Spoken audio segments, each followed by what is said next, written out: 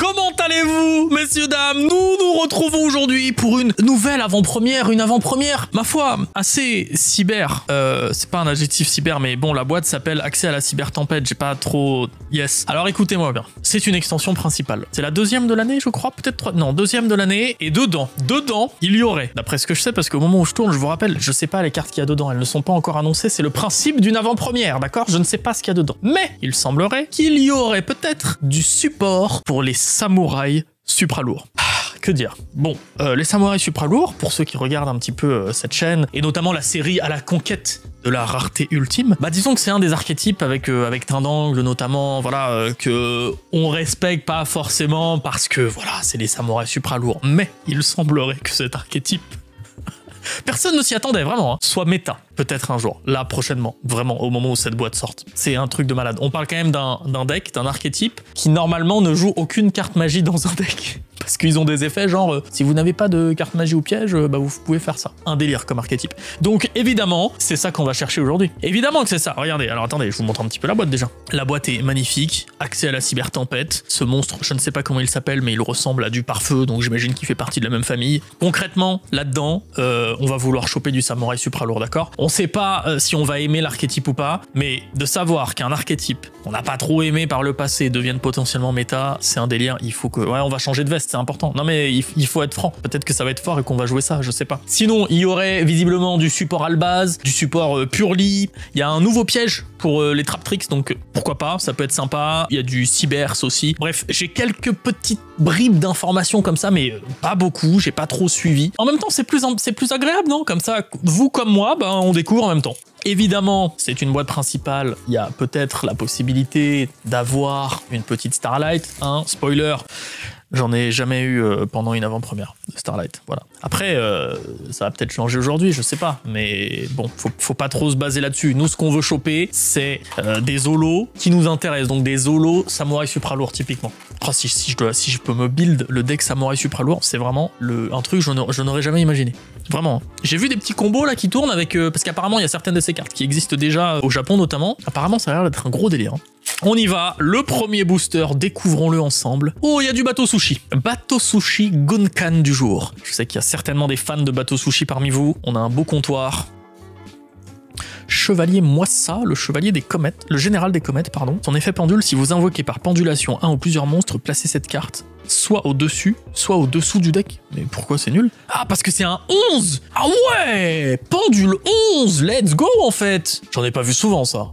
Ça existe d'ailleurs, pendule 11, c'est pas le tout premier. Et en monstre, lorsque vous piochez cette carte, vous pouvez la révéler. Durant votre main phase ce tour, vous pouvez mener une invocation pendule d'un ou plusieurs monstres depuis votre main, en plus de votre invocation pendule. Mais attends, pourquoi c'est qu'une commune Ça, j'ai l'impression que c'est hyper fort dans le deck pendule. Bon, écoutez. Euh, étude du marqué, ok, très bien.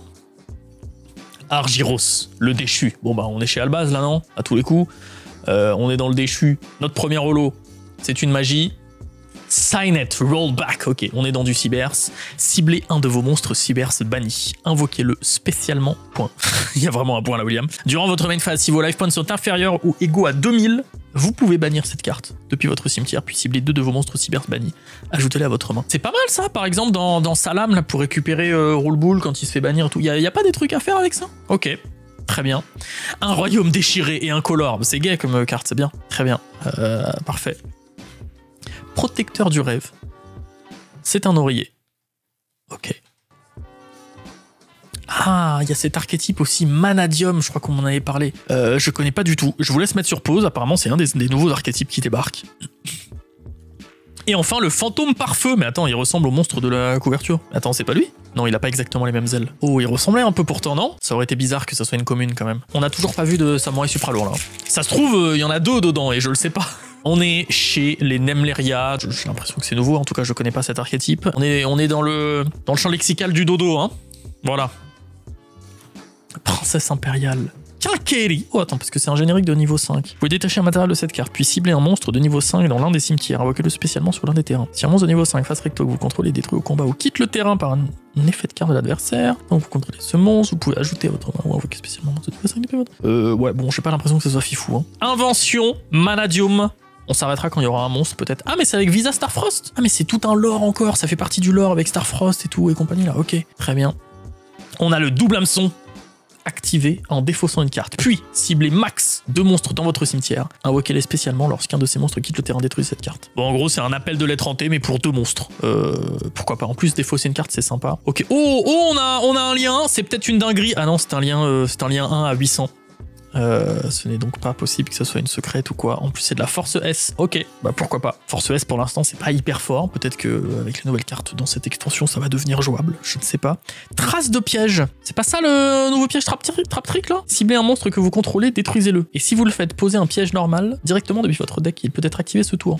Je crois que c'est ça, non? Hyper fort, non? Le reste de ce tour, à part la résolution de cette carte, vous pouvez activer qu'une carte piège. on s'en fout si c'est non. Eh, trop fort ça. Ça pour le deck trap tricks. Et donc c'est une commune en plus. Hatsugai Oh, c'est trop mignon. et je vous laisse mettre sur pause, c'est un délire ce texte. c'est un délire. De l'incroyable, ok. Et enfin, euh, du Nemleria. Ça a l'air très joli comme archétype, ça. Bon, allez, une petite ultra, une petite secrète là, et surtout du samouraï supra lourd. On, m'a annoncé quand même, euh, excusez-moi, on, m'a annoncé ce truc de fou là. Attendez, on va faire comme ça. Hop là. Oh, un nouveau euh, Dai le greffeur dans une carte. Comment Dai est arrivé ici? Un délire ce, ce nom. Euh, nouvelle frontière. Duplication de fusion. Oh, qu'est-ce qu'il fait là lui? Ciblez une magie normale ou jeu rapide fusion ou polymérisation dans l'un des cimetières. Bannissez la magie, puis appliquez l'effet de la magie lorsque la carte est activée. Bon, c'est un nouveau polymérisation, quoi. Kitsuni, Kitsunebi, tous les monstres face recto sur le terrain deviennent feu. Si votre adversaire a un monstre feu sur son terrain, tant que cette carte est dans votre cimetière, vous pouvez invoquer spécialement cette carte. 1900 de défense, ok, très bien. Oh, bah dites-moi, c'est pas le, le support Purely ça du coup? Il doit y en avoir d'autres parce que c'est bizarre que ce soit juste une commune. Si cette carte est invoquée normalement ou spécialement, vous pouvez ajouter une carte Purely euh, depuis votre deck à votre main. Bah c'est trop fort. C'est un, nouveau tuto, très bien. Il y a, y a, de la suite de Fierté d'Or aussi qui est sortie dans la dernière extension, c'est vrai Est-ce que ça devient jouable? Je ne sais pas.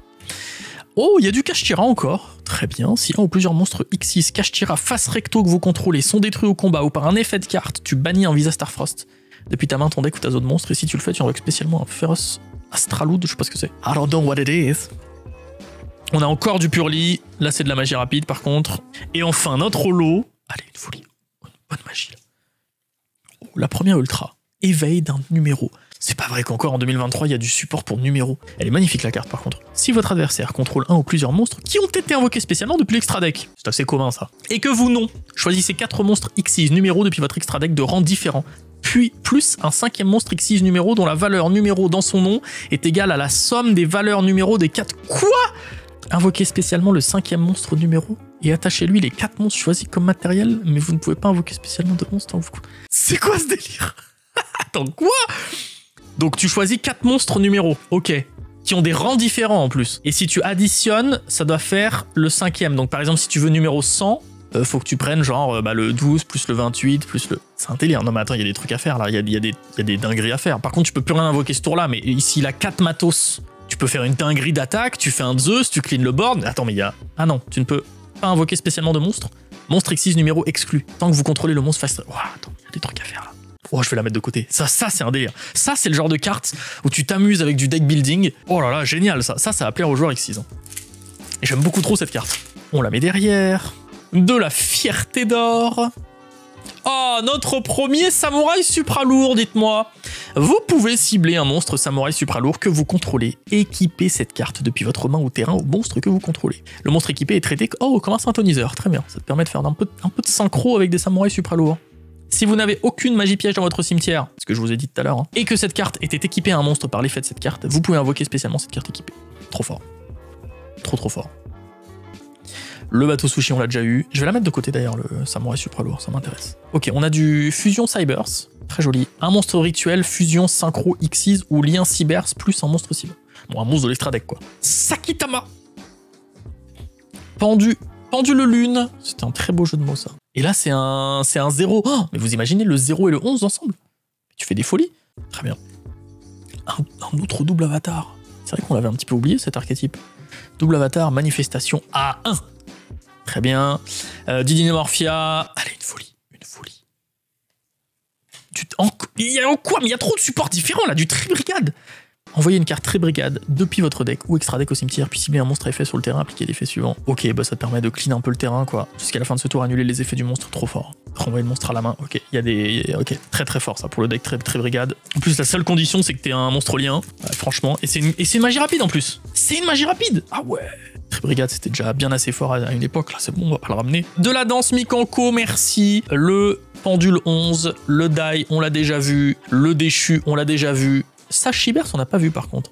Oh, c'est un Cybers rituel synthoniseur. Vous pouvez invoquer rituellement cette carte avec Signet Ritual durant votre main phase. Vous pouvez invoquer par fusion un monstre fusion depuis votre extra deck en bannissant les matériels mentionnés dessus, ok, depuis votre terrain au cimetière. Euh, si elle est utilisée comme matériel synchro, tu peux cibler un monstre Cybers ou une magie rituelle depuis. euh, ok. Bon, pourquoi pas.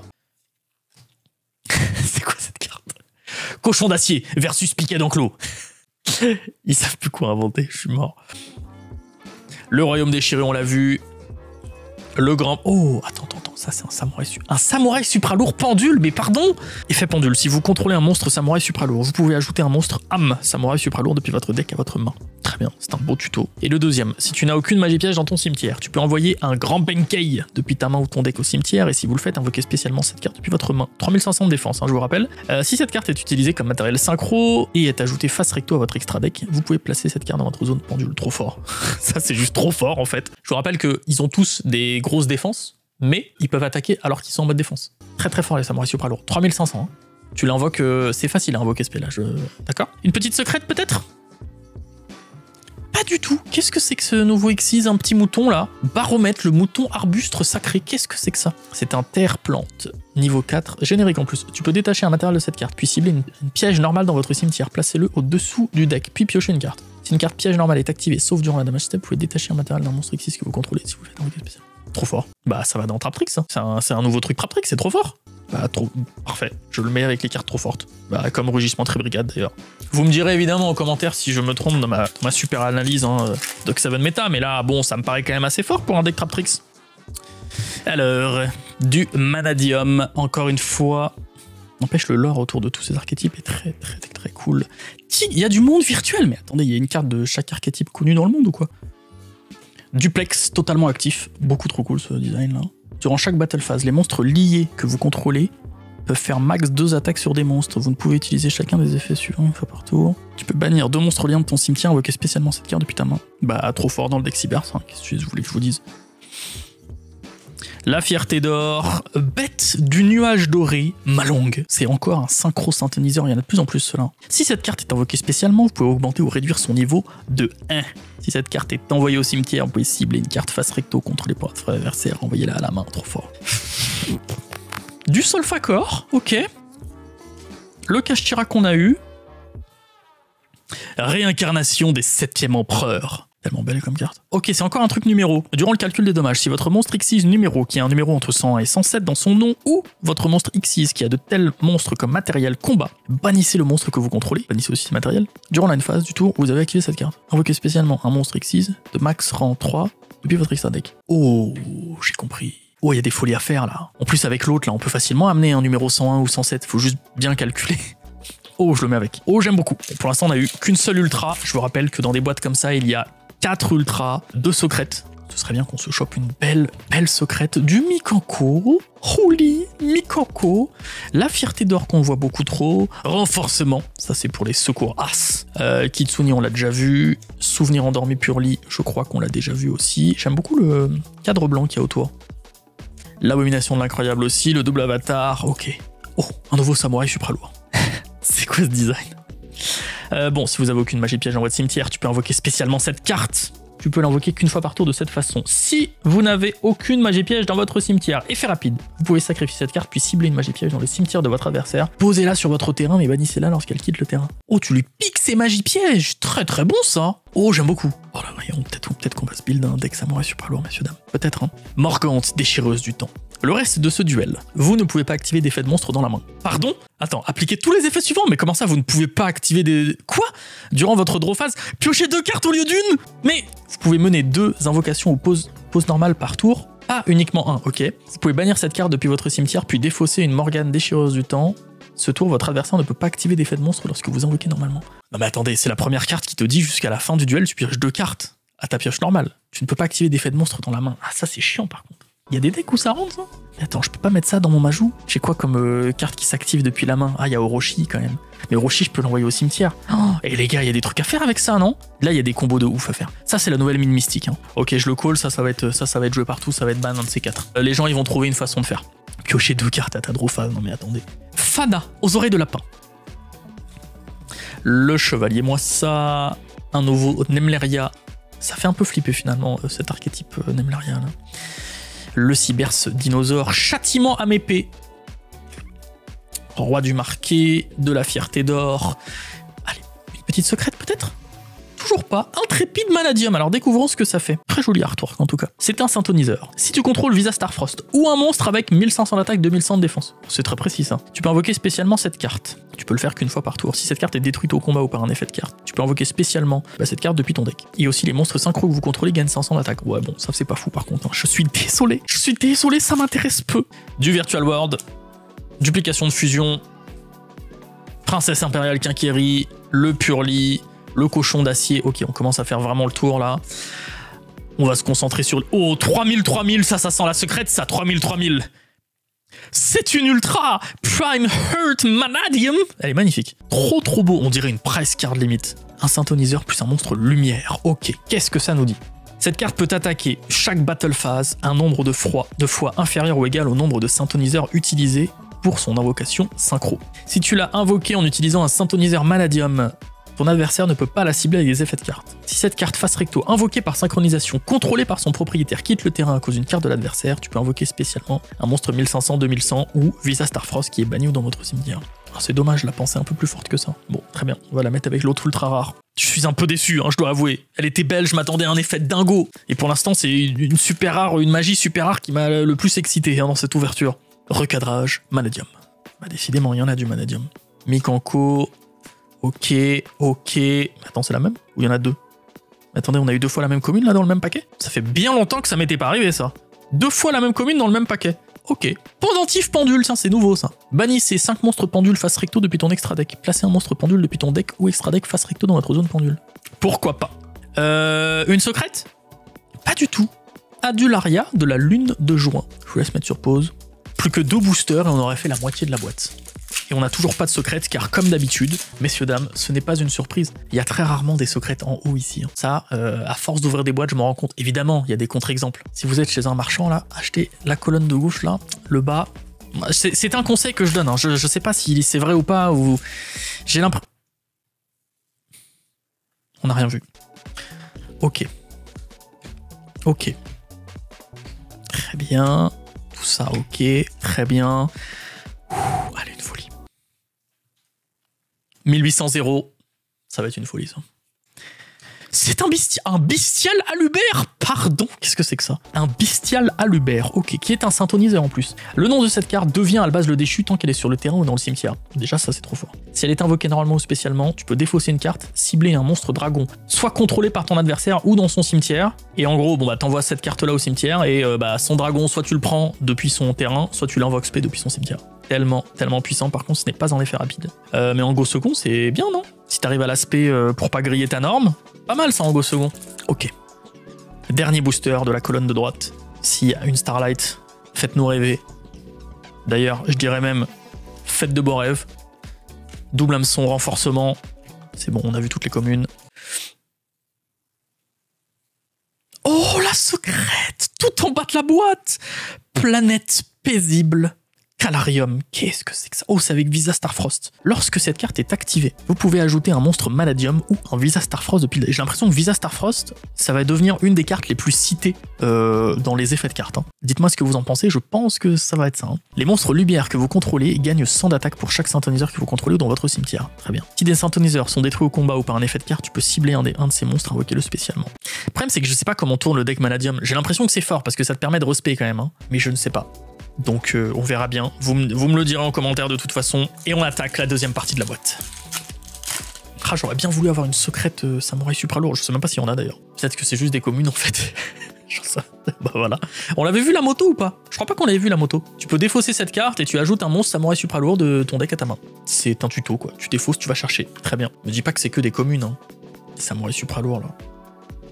On a de la Kelob troupe. J'aime beaucoup cet archétype. Il est pas très fort, mais je l'aime beaucoup. Un archétype insecte, c'est pas mal. Encore deux ultras et une secrète. Il y en a qu'on voit souvent quand même des communes, non Oh, c'est un monstre synchro. Euh, synchro, qu'est-ce que je raconte? C'est un monstre pendule. Nemleria rêveuse. Je vais se mettre sur pause, hein, évidemment. Est-ce que pour une fois, ça peut être mon avant-première où on chope la meilleure ouverture? Ce serait bien. Très souvent, je vois des copains qui ont des Starlight pendant leurs avant-premières, alors que moi, qu'est-ce que j'ai? J'ai une secrète 3005, 3005 C'est un bestial dispat... Attends, mais quoi? Il y a un synchro bestial? Un synthoniseur plus un monstre non synth... 3500, 3500, qu'est-ce que c'est que ça? Tu peux cibler un monstre lumière ou ténèbres banni. Invoquez-le spécialement sur votre terrain. Lorsque votre adversaire active un effet de monstre, tu peux cibler une carte bannie, mélangez-la dans le deck.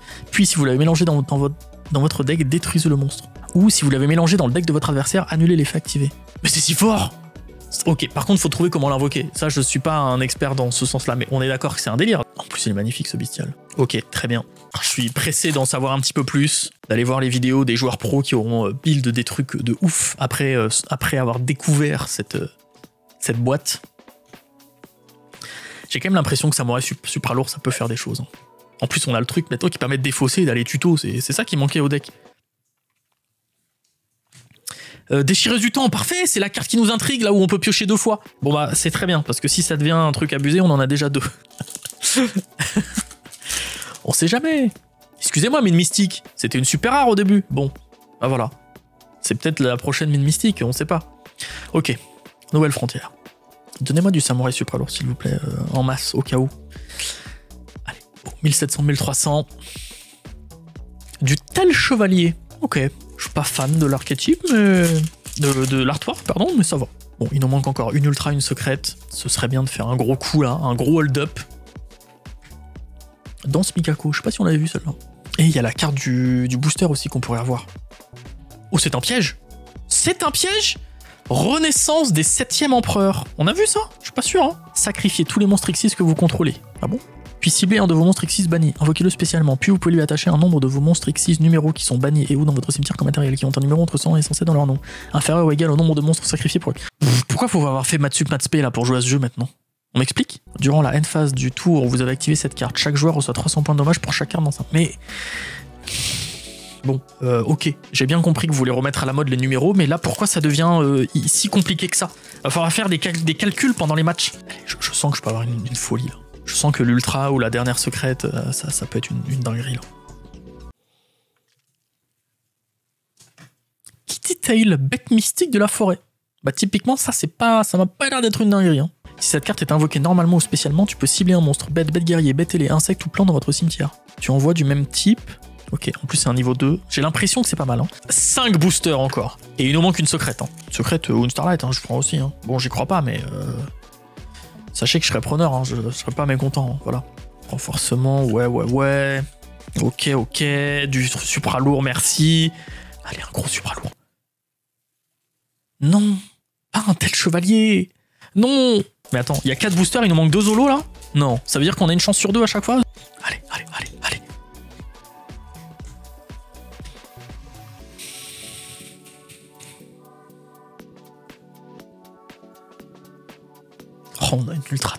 Alors que je dis pas de tel chevalier, c'est terrible.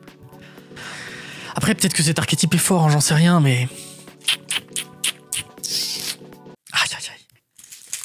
N'aura pas eu d'holo, ça m'aurait supra lourd. Pas de, pas de grosse, quoi. Ah là là là. C'est peut-être que des communes, après tout, j'en sais rien. Je sais pas, j'ai pas la liste, donc je ne sais pas ce qu'il y a dans cette extension. Ok, ok, ok. La secrète maintenant. Pas du tout docile Manadium. On l'a déjà eu ou pas? Non, attends, on a eu un autre Manadium, c'était pas le même. Ah, on a eu, il y a intrépide et docile. Oh, c'est stylé, c'est pas les mêmes. J'aime beaucoup l'artwork. Bon, c'est plus ou moins les mêmes effets, j'ai l'impression. Hein. Ça parle à chaque fois de Visa Starfrost, encore une fois. Ok, plus que deux boosters. Dans lequel sera notre secrète. Vous savez ce qu'on va faire? On va mettre la carte ici, on va regarder toutes les communes. Ok, il n'y en avait pas une nouvelle. on va faire la même chose avec la dernière. Non, non, non, non, non, non, non. Très bien. Ça veut dire que c'est bien la dernière, la secrète, c'est magnifique. Prodige Wakosi Samouraï Supra Lourd Let's go, on a une holo Samouraï Supra Lourd Alors, ton FF pendule, c'est quoi? Tu peux placer un monstre pendule Samouraï Supra Lourd depuis ton deck dans ton autre zone pendule, puis invoquer spécialement cette carte. Ok. Tu peux défausser un monstre, tu invoques spécialement un monstre Samouraï Supra Lourd depuis ta main ou deck en position de défense. Et aussi, tu ne peux pas invoquer spécialement de monstre, sauf le Samouraï Supra Lourd évidemment, ça, ça va. Si elle est utilisée comme matériel synchro, vu que c'est une synthoniseur, tu peux placer cette carte dans ta zone pendule. C'est trop fort. Mais attends, on l'a déjà eu en fait. Ah non non, non, non, non, non. Ok, et notre secrète, messieurs, dames. Oh, c'est vraiment une fierté d'or, c'est terrible. c'est quoi ça Bon, on va quand même lire, hein, parce que c'est une secrète. euh, Peut-être fierté d'or, ça va devenir méta un jour. Quand elle est activée, tu peux ajouter un monstre fierté d'or. Bon, c'est un tuto fierté d'or, c'est pas mal. Et si vous le faites, vous perdez des LP égaux à son attaque. Ah, s'ils sont invoqués spécialement depuis l'extra deck et qu'ils sont renvoyés à l'extra deck, tu peux piocher une carte. Ok, tu peux utiliser cet effet qu'une fois par tour. Euh, ok. Bon, c'est pour accélérer le, deck Fierté d'Or, pourquoi pas Faut voir ce qu'il donne en vrai. Bon, moi, ce que je retiens de cette ouverture, il y a trois choses. L'éveil d'un numéro, parce que ça, je pense qu'on peut faire des folies avec les, monstres Xyz, hein, avec les monstres numéros. Il y a lui, parce que je pense qu'on peut faire des folies avec ce truc. Et alors, cette carte magie là, les gars, il faut qu'on trouve des, trouve des combos avec ça, c'est pas possible. Piocher deux cartes à chaque tour. Et en plus, tu invoques, tu invoques normalement deux. Non mais c'est un délire. Il faut qu'on trouve des trucs avec ces cartes là. Je vous fais confiance, je vous attends aux commentaires, messieurs, dames. Pour rappel, cette extension sort à la date qui s'affiche à l'écran. Quant à moi, je vous retrouve euh, bah, peut-être plus tard dans la semaine ou la semaine prochaine, je ne sais pas. On se retrouve très vite de toute façon, ne vous inquiétez pas, il y a encore beaucoup de choses à dire dans le monde de Yu-Gi-Oh! Merci, à bientôt, au revoir.